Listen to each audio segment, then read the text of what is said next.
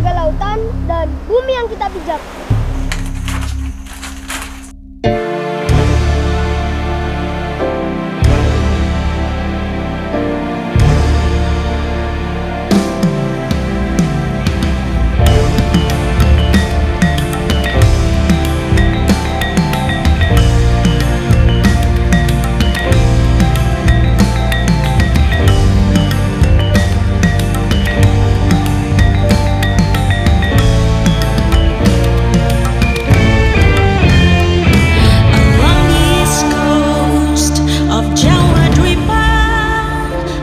city was born to welcome.